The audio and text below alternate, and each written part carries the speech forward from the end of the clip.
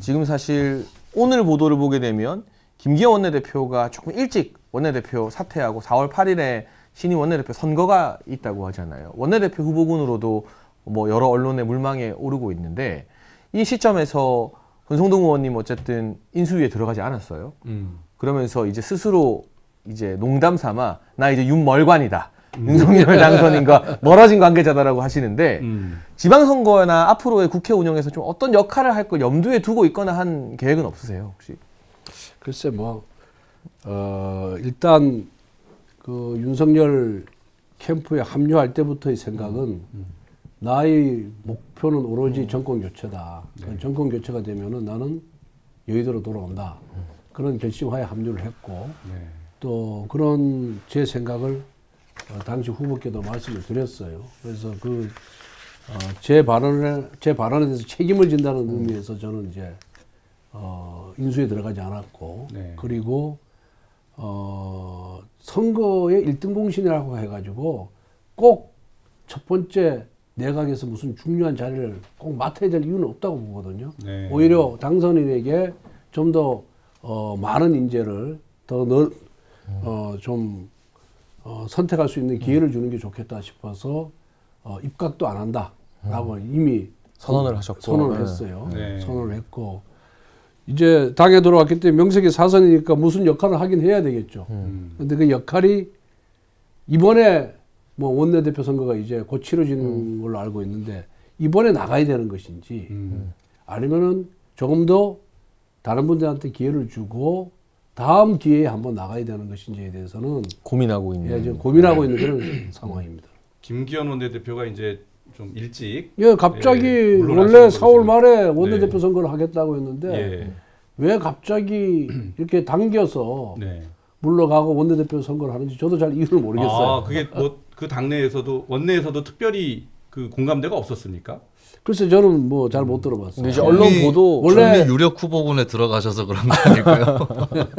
근데 언론 보도 보니까 민주당의 박홍근 원내대표가 신임으로 선임이 됐고 4월부터 사실은 뭐 국무총리 인준부터 청문회 준비까지 협상을 막 해야 되는데 임기를 다 시 키면 하다가 5월에 갑자기 협상 파트너가 바뀌는 거잖아요 국민의힘 측에서는 그러니까 이걸 좀 이어가기 위해서 일찍 사퇴했다 아, 그래요? 뭐 예, 입장이 예, 나오더라고요. 예. 이게 김기현 원내대표가 이제 살신성인한 걸로 이제 그 기사에 의하면 그렇게 됐는데 이제 권 의원님도 신임 원내대표 후보군에 거론이 되고 있습니다. 근데 아직 아직 결정을 결심은 안 하신 거예요? 그러면? 예, 예, 예. 저는 나오신다고 하길래 오늘 이 자리에서 혹시 선언을 하셔가지고 아니, 아니. 또 저희 조회수를 네. 올려주시나 기대를 했, 했습니다만 솔직 솔직한 마음은 네. 어, 이번 원내대표 선거에 에,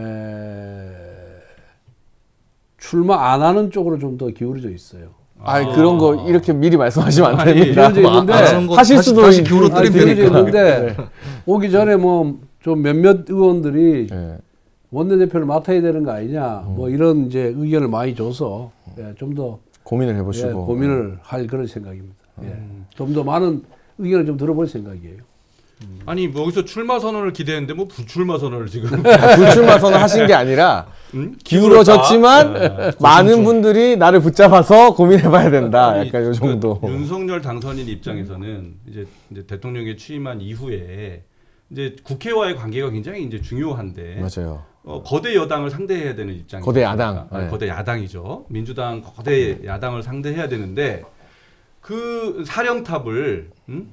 그 대통령과 신뢰관계가 좋은 두터운 그런 권 의원님 같은 분이 이렇게 해줘 해주시면 민주당 입장에서도 상대하기가 굉장히 더, 수, 더 좋지 않을까 어? 믿음이 가고 그런 면이 있을 것 같거든요. 지금 조회수 뽑으려고 여기서 출마 선언 받아내려고 지금 계속, 계속 하시는 거예요. 저도 저도 진지하게 말씀드리는 거죠. 예, 진지하게. 예. 저도 뭐- 옆에서 권 의원님의 이제 머릿속을 투시를 해보니까 두 가지 생각이 싸우고 있다라는 생각이 들거든요. 어떤 생각입니까? 한 가지는 네. 책임 있는 여당을 음. 만들기 위해서 또 본인이 어, 청와대로 가거나 입각을 하거나 이것을 하지 않는다고 하셨기 때문에 결국에 정치의 중심은 국회다 라고 하는 그런 생각을 갖고 있다면 이제 원내대표로서 한번 책임지고 해보겠다 음. 생각이 들 수 있죠. 근데 한편으로는 어, 아까 이제 민주당 얘기도 하셨는데 사람들이 나를 대통령 대리인으로 자꾸 보고 음. 예, 그렇게만 대했을 때 혹시 당이나 뭐 당선인한테 부담이 되지 않을까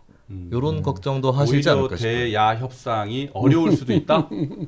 그럴 수도 있겠죠. 아, 근데 거꾸로는 이제 차라리 이 원내대표는 대통령하고 가까우니까 네. 오히려 더 많이 얘기해 보자 네. 이렇게 나올 수도 있는 거고. 네. 두 가지 생각이 아마 다 있지 않을까. 네. 맞습니까?